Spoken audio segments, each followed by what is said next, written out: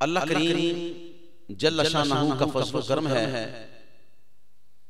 जिस खालिक की कायनात ने हम सबको इंसान अशरफुल मखलूकात। और अपने प्यारे हबीब नबी मुहतरम शफी मुअज्जम रसूल पाक साहिब औलाद अहमद मुज्तबा मोहम्मद मुस्तफ़ा सल्लल्लाहु अलैहि व आलिहि वसल्लम का उम्मती बनाया। आज अल्लाह के नबी हज़रत सुलेमान सलाम का ज़िक्र मुकद्दस करते हैं। काबिल कदर हज़रत सुलेमान सलाम वो नबी हैं जिन्होंने इंसानों पर जानवरों पर दरिंद पर चरिंद पर जिन्नात पर हवाओं पर हुकूमत फरमाई है हज़रत सुलेमान सलाम ने खत लिखा शहजादी बल्कीस को। या तो मुसलमान हो जा या फिर जंग के लिए तैयार हो जा। अब शहजादी बल्कीस गैर मुस्लिम थी। सुलेमान सलाम का खत लिखना और हुदहुद के गले में बाँध देना। हुदहुद ने प्रवास की वो हुदहुद उड़ गया। जाके शहजादी बल्कीस के मोहल्लों पे बैठ गया। शहजादी बल्कीस सुबह उठी। सामने नज़र पड़ी। हुदहुद के गले में एक खत लटक रहा था। हुदूद को पकड़ा खत खोला उसे छोड़ दिया। जब हज़रत सुलेमान सलाम का ये पैगाम लिखा हुआ पड़ा ना कि शहजादी बल्कीस या तो मुसलमान हो जाओ या फिर जंग के लिए तैयार हो जा। शहजादी बल्कीस ने काबिल कदर जितने भी उसके वज़ीर थे मशीर थे वो सबको इकट्ठा कर लिया। मैंने आपको मशवरे के लिए बुलाया है। मुझे ये बताओ कि सुलेमान सलाम के साथ जंग करनी है या कलमा पढ़ के मुसलमान होना है? वो बड़े हैरान हुए तो शहजादी करते हैं कि शहजादी हम मुसलमान तो नहीं होंगे। लिहाजा हम जंग के लिए तैयार हैं। शहजादी ने समझाया कि वो अल्लाह के नबी हैं। फिर ऐसे नबी हैं वो हर चीज़ पे हुकूमत फरमा रहे हैं। हवाएँ चाहे चाहे तो हवाएँ चले। आंधी का आर्डर दे तो आंधी आ जाए। जिन्नात उनके ताबे हैं इंसान उनके ताबे हैं। हैवान उनके ताबे हैं। आग पानी पर वो हुकूमत कर रहे हैं। तो मुझे ये बता कि उनके साथ जंग करने की मज़ाक या खेड़ तो नहीं है ना जी? तो काबिल मशवरे के बाद शहजादी बल्कीस ने अपनी राया को और अपनी फौज को ये हुक्म दिया। कि तुम या सब यही ठहरो। मैं खुद चल के सुलेमान के पास जाती हूँ। शहजादी बल्कीस ने मेरे काबिल कदर सफ़र शुरू किया। घोड़े की सवारी के सफ़र बनता था तीन माह का। अगर मतवाता घोड़ा चले तो तीन माह का रास्ता। जब हज़रत सुलेमान सलाम की कचहरी के करीब आई ना। तो हज़रत सुलेमान सलाम ने निगाह नबुवत से देखा। कि शहजादी बल्कीस करीब आ गई। ये भी दौर वही है। आज किसी को कुछ दिखाया जाए तो कोई मानता है वैसे कोई मानता नहीं। हज़रत सुलेमान सलाम ने फरमाया अपने दोस्त अहबाब संगी साथियों को कि भाई शहजादी बल्कीस करीब आ गई। अब इसे कुछ दिखाएँगे तो ये मानेगी। उन्होंने कहा जी हजूर बिल्कुल बात ठीक है। आपने जिन्नात के सरदार को बुलाया। फरमाया मुझे शहजादी बल्कीस का तख्त चाहिए। कितनी जल्दी लेके आएगा? वो कहता है अल्लाह के नबी बड़ी जल्दी जल्दी। भाई कितनी जल्दी लेके आएगा? वो जिन्नात का सरदार कहता है तकरीबन ढाई घंटे में। कम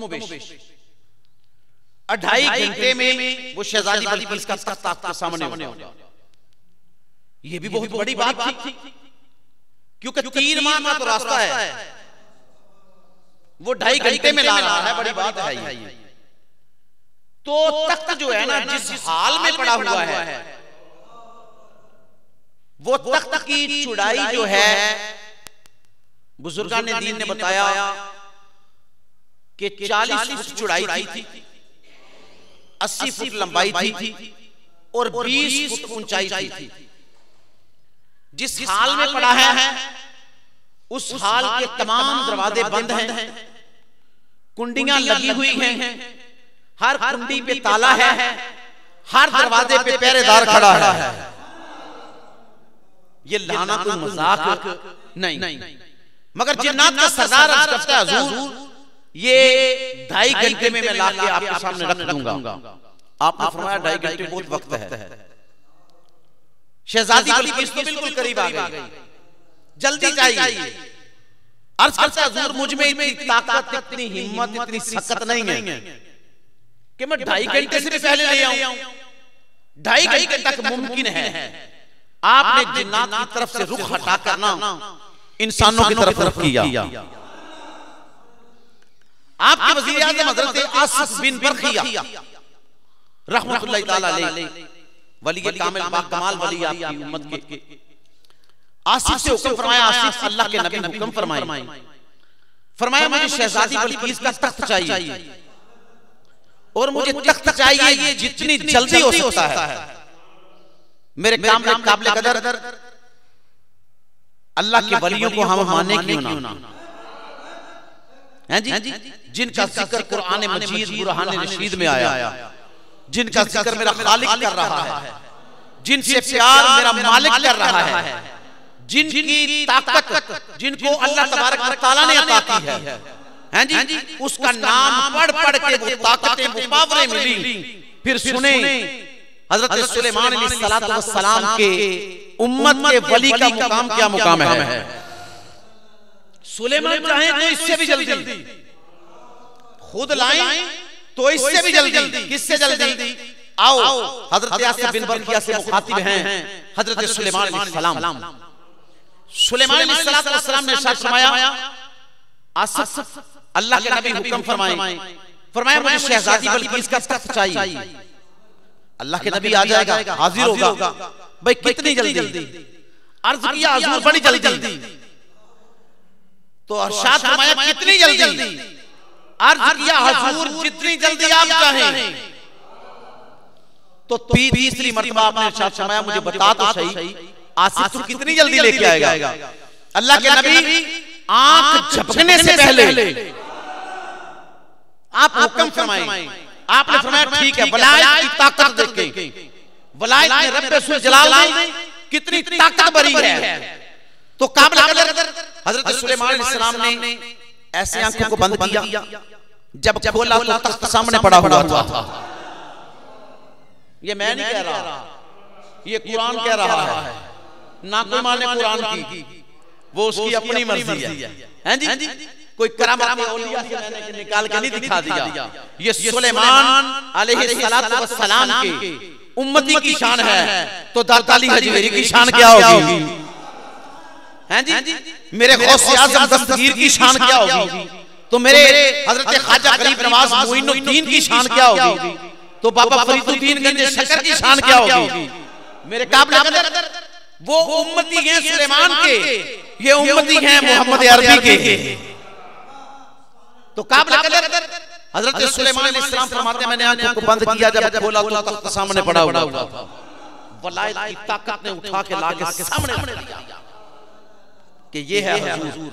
आपने जब देखा सुलेमान अलैहिस्सलाम बड़ा मुस्कुराए।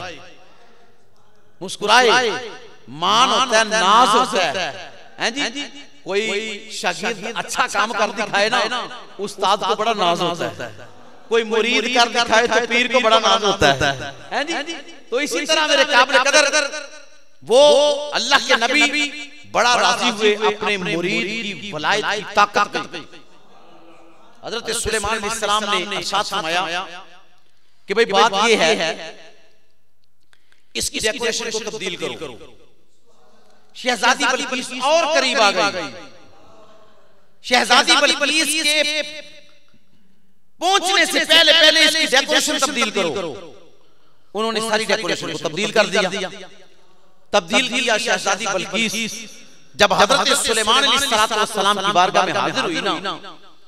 तो सुलेमान सलाम मुस्कुराए शहजादी बल्किस को देखकर। तो अरशाद फरमाया शहजादी बल्किस से एक सवाल करूँ। अल्लाह के नबी हुक्म फरमाए। फरमाया इस तख्त को पहचानती हो ये तख्त कौन सा है? शहजादी बल्किस ने जब ऐसे निगाहें भर के देखा ना तो बड़ी हैरान हुई। तो अर्ज़ करती हैं अल्लाह के नबी तख्त तो मेरा है ये डेकोरेशन मेरी नहीं। तो अरशाद फरमाया ये किस महफूज मुकाम पे रखा हुआ था?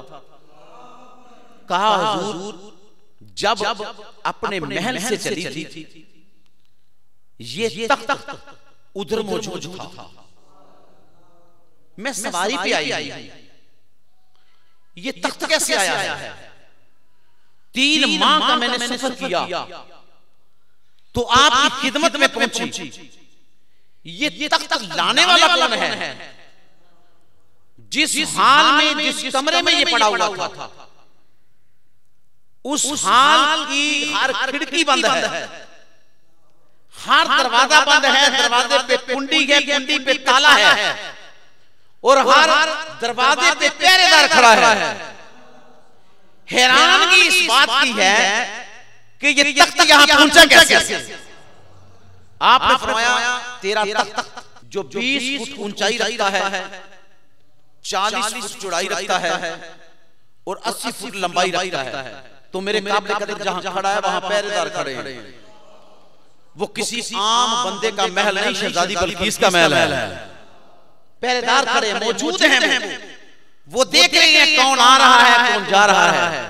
और उस हाल में जिस हाल में पड़ा है मेरे काबले कदर किसी की मजाल है कोई सुई उठा के ले जाए। ये अल्लाह के वलियों का कमाल है कि सुलेमान सलाम आँख बंद करके आँख खोले। वलायत की ताकत पकड़ के ऐसे उठा के सामने ला रख दिया। इसे कहते हैं अल्लाह के वली की पावर। ताकत। मेरे काबिल कदर ये अल्लाह अल्लाह करने से मिलती है। कोई कहे ना कि मैं बड़ी बड़ी लंबी तस्बीहां करूँ बड़े बड़े चिल्ले काटूं तो फिर मुझे मिल जाए। ऐसे नहीं मिलते। हज़रत आरफी ने सुल्तान फरमाते हैं तस्बीह फिरी पर दिल ना फिरे। हैं जी? इस दिल में मोहब्बत इलाही बेदार करो। तस्बीह फिरी पर दिल ना फिरिया कि लेना तस्बीह हथ फड़ के हूँ। चिल्ले कट्टे पर कुछ ना खदिया कि लेना चिल्लियाँ विच वड़ के हूँ। जाग बिना दूध जमदे नहीं भाਵੇਂ लाल होवन कड़ कड़ के हूँ मेरे काबिल कदर ये बात याद रखना जब किसी बलिए कामिल के हाथ पे हाथ रखोगे फिर उसके हो जाओ जब उसके हो जाओगे फिर तुझे शरीयत सिखाएगा। तरीकत सिखाएगा। हकीकत सिखाएगा। मार्फत सिखाएगा। वहादियत सिखाएगा। अहदियत सिखाएगा। फिर रब्बूबियत की मंजिल पे ले जाएगा। जिस मंजिल के बारे में मेरे बाबा जी हजूर फरमाया करते थे जब बंदा फनाफी वजूद फनाफी शेख फनाफी रसूल फनाफी अल्लाह के मुकाम पे पहुँचता है। फिर आँखें उसकी होती हैं। देखना खुदा का होता है कान उसके होते हैं सुनना खुदा का होता है नाक उसकी होती है सूंघना खुदा का होता है ज़ुबान उसकी होती है बोलना खुदा का होता है कदम उसके होते हैं चलना खुदा का होता है इशारा उसका होता है काम खुदा का होता है जब तू रब का बन जाएगा फिर तुझे तुझ पर हजूर की इतनी रहमतें बरसेंगी। इतना कर्म बरसेगा। तू रब का हो जाएगा फिर रब तेरा हो जाएगा। हैं जी? इसीलिए हज़रत बाबा बुल्ले शाह ने फरमाया कर ले दिल दी सफ़ाई। जे दीदार चाहिदा ओ तैं जहान तो की लेना तेनु यार चाहिदा। तो मेरे वाजिबुल एहतराम रब के बनना है तो हो जाओ। उसका ज़िक्र करना है तो अंदर से करो। आओ समाप्त करो। हज़रत सुलेमान सलाम के उस वली कामिल का वाकया कि उस वली कामिल ने किस तरीके से इतना बड़ा तख्त अपनी वलायत की ताकत पे आँख को बंद करके जब सुलेमान ने खोला तो तख्त सामने पड़ा हैं जी जिसकी चौड़ाई 40 फुट हो जिसकी लंबाई 80 फुट हो जिसकी ऊंचाई 20 फुट हो वो टनों के हिसाब से वज़न वो तीन महीने का रास्ता मेरे काबिल कदर हाल में पड़ा है हाल बंद है दरवाजे बंद हैं कुंडी लगी है ताले लगे हैं हर दरवाजे पे पहरेदार खड़ा है। ये वलायत की ताकत ने कमाल कर दिया तो और क्या किया है? मेरे काबिल कदर शहजादी बल्कीस को हुक्म फरमाया हज़रत सुलेमान अलैहिस्सलाम ने। शहजादी बल्कीस इस तख्त इस तख्त को पहचानती हो ये तख्त कौन सा है? जब शहजादी बल्कीस ने देखा मुस्कुरा के कहती है अल्लाह के नबी ये तख्त तो मेरा है। मगर इसकी डेकोरेशन मेरी नहीं। ये इतना बड़ा तख्त इतना वजनी तख्त इतनी दूर से। आपने कैसे मंगवाया ये कैसे आया है तो मेरे वाजिब एहतराम हज़रत सुलेमान सलाम अरशाद फरमाते हैं मैं नहीं लेके आया।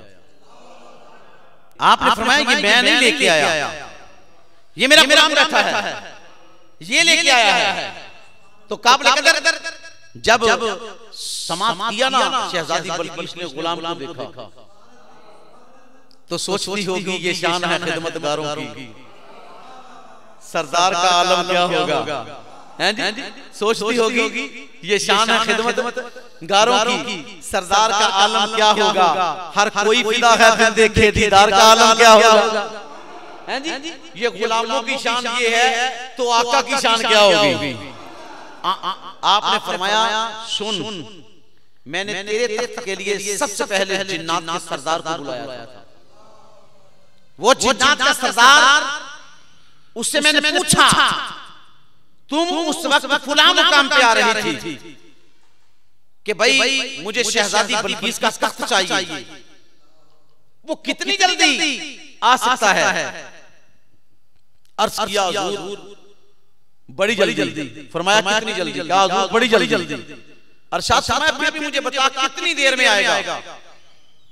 कहा हुजूर आपकी कचहरी बर्खास्त होने से पहले। उसमें उलमा लिखते हैं तकरीबन ढाई घंटे का वक्त था। आपने फरमाया मुझे तेरी ज़रूरत नहीं।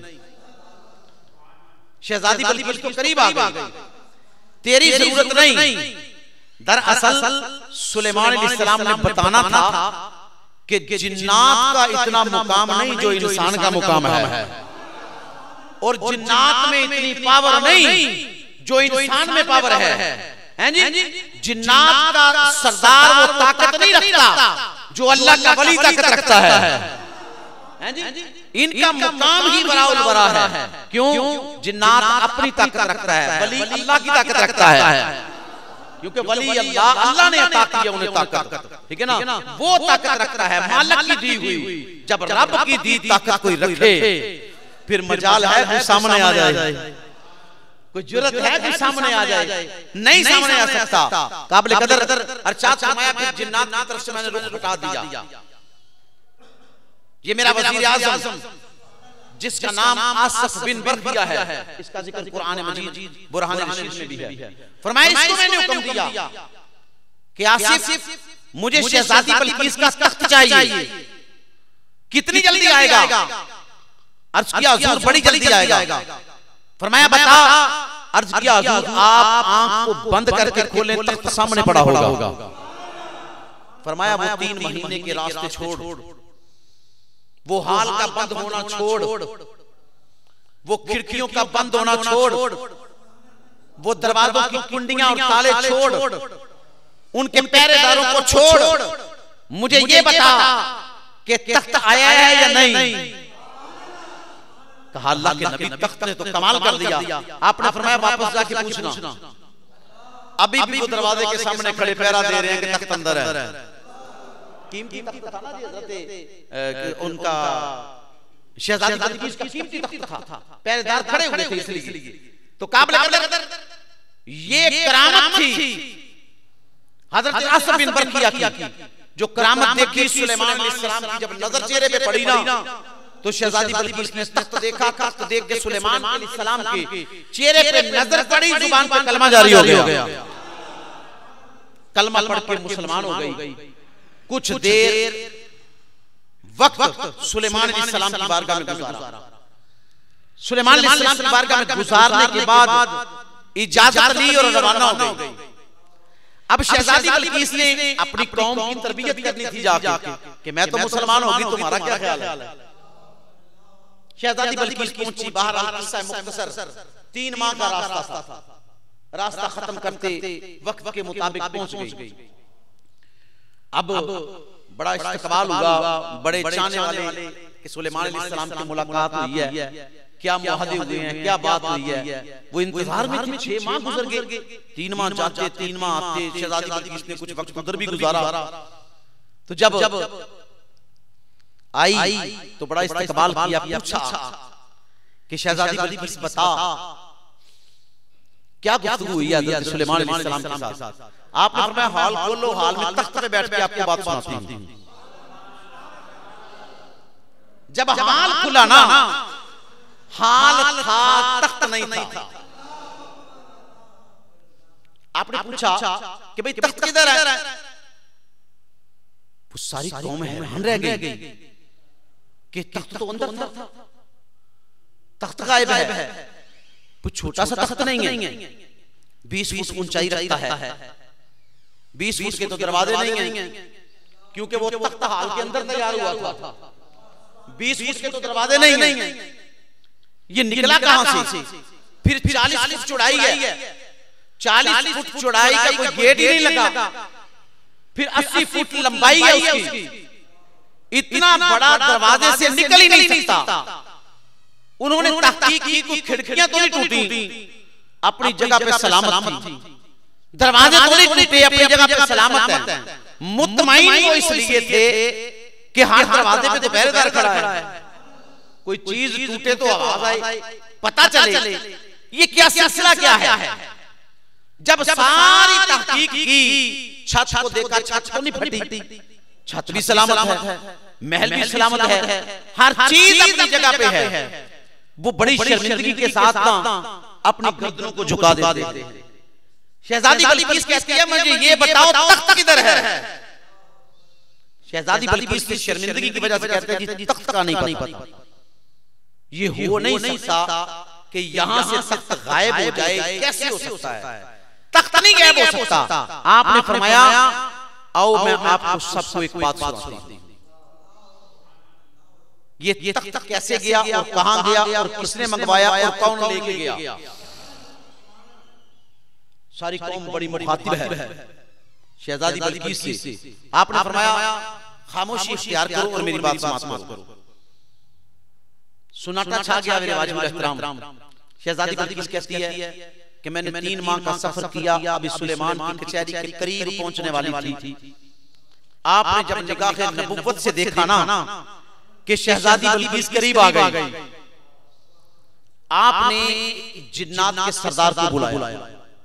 क्योंकि मैंने आप लोगों को बताया था सुलेमान सलाम के साथ जंग जो लड़नी है ना। ये मज़ाक या खेड नहीं है। जिन्नात पर हुकूमत उनकी है हवाओं पर उनकी है खलाओं पर उनकी है पहाड़ों पर उनकी है ज़मीन पर उनकी है। हैवानों पर उनकी है इंसानों पर उनकी है वो हुकूमत फरमाते हैं रब ने ताकत अता की है जैसे कह देते हैं वैसे हो जाता है।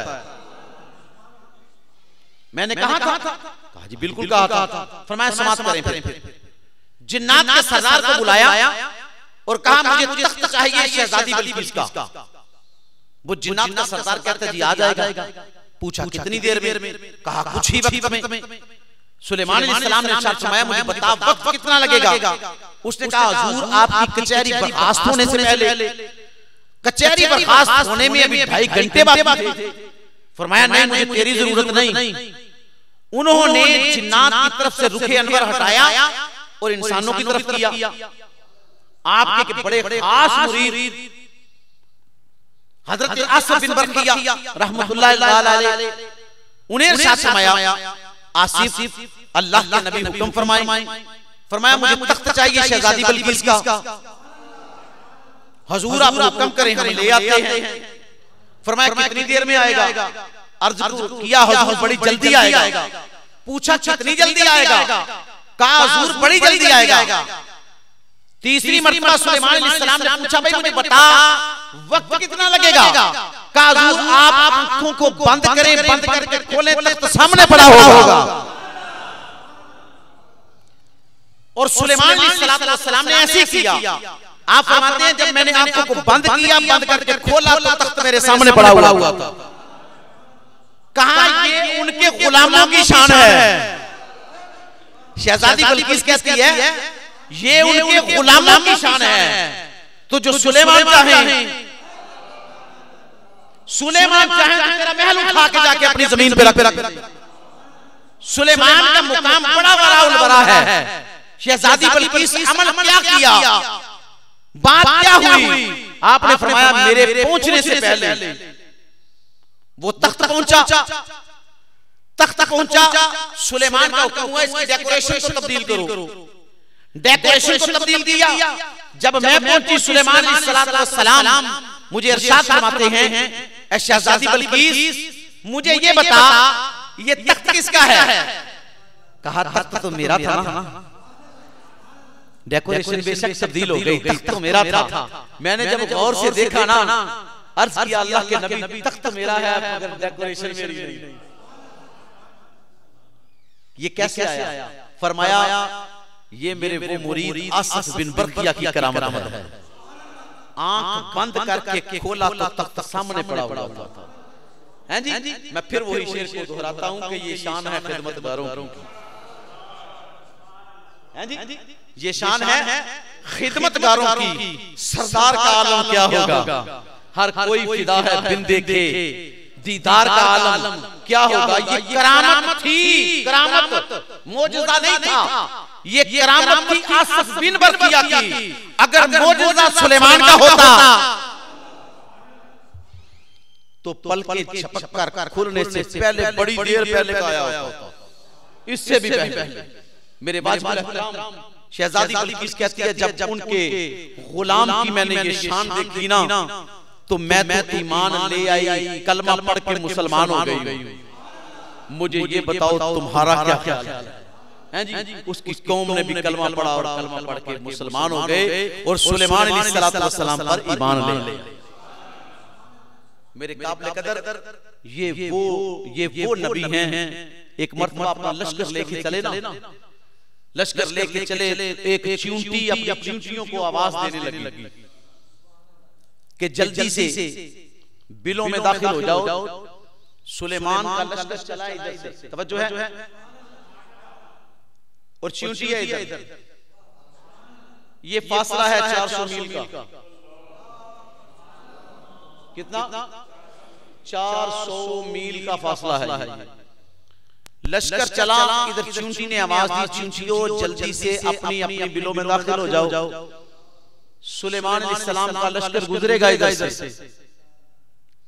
उनके घोड़ों के पाँव तले आके मारी ना जाओ कुचली ना जाओ। जाओ। जल्दी से बिलों में दाखिल हो जाओ। वो सारी की सारी बिलों में दाखिल हो गई। आप एक दरख्त के तने पे चिपट करना वो चूंटी जो चूंटियों की सरदार थी। चिपट करना वो राह देखने लगी जिस राह सुलेमान ने आना था। उस राह को देखने लगी। मेरे काबले कदर जब वक्त गुजरा तो लश्कर आया। धूड़े उड़ती नज़र आई ना। अरे चूंटी 400 मील के फासले पे ये कहे कि सुलेमान का लश्कर आ रहा है। बिलों में दाखिल हो जाओ। चूंटी को खबर हो 400 मील दूर की। तवज्जो है। चूंटी को खबर हो 400 मील दूर की। तो सुलेमान को खबर नहीं हो सकती। जब लश्कर आया उस उस रख रख के करीब आके अपनी सवारी को खड़ा कर दिया। आपने फरमाया सब रुक जाओ। रुके उठाया। उठाकर हाथ में रखा। कहा अदना जानवर। हकीर चूंटी। अदना जानवर। हकीर चूंटी। क्या कह रही थी?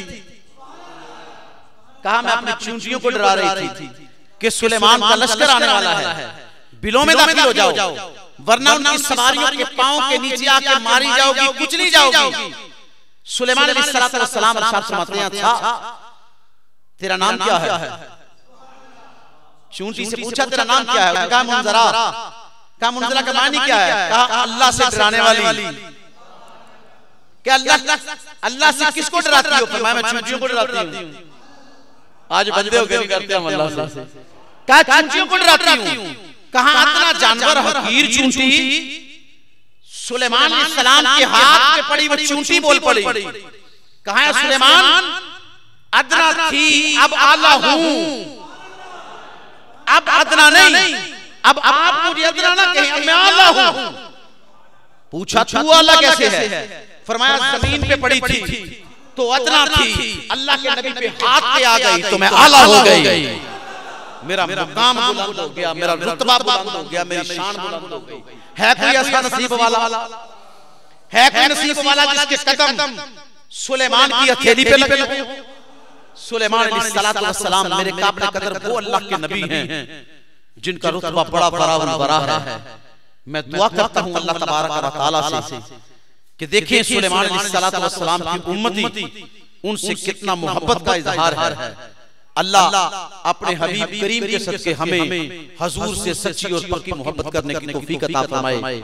और हजूर की गुलामी में अपनी ज़िंदगी बसर करने की सआदत नसीब फरमाए। आमीन। बिजाह नबी अमीन वमा अलैना इल्लल बलागुल मुबीन।